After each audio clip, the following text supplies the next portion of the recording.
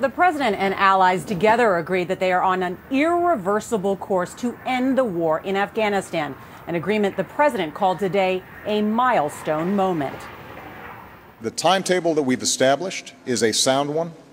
It is a responsible one. Uh, are there risks involved in it? Absolutely. Uh, uh, can I uh, anticipate that over the next two years there are going to be uh, some bad moments along with some good ones? Absolutely. The president today cemented plans for what the end of this war will look like.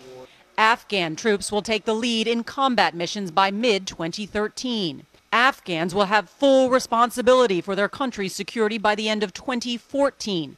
Right now, just half of the population is under Afghan led protection. And finally, an international commitment to support an Afghan security force after 2014.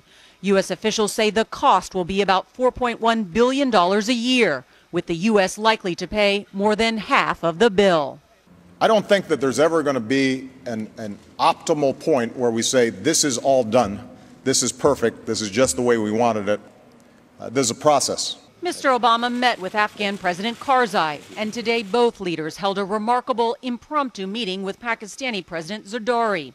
Relations among the three are strained, and U.S. and Pakistan relations have especially deteriorated since U.S. Navy SEALs killed Osama bin Laden on Pakistani soil last May, and since a NATO led airstrike last November mistakenly killed 24 Pakistani soldiers. We need to work through some of the tensions that uh, have inevitably uh, arisen after 10 years uh, of our military presence uh, in that region.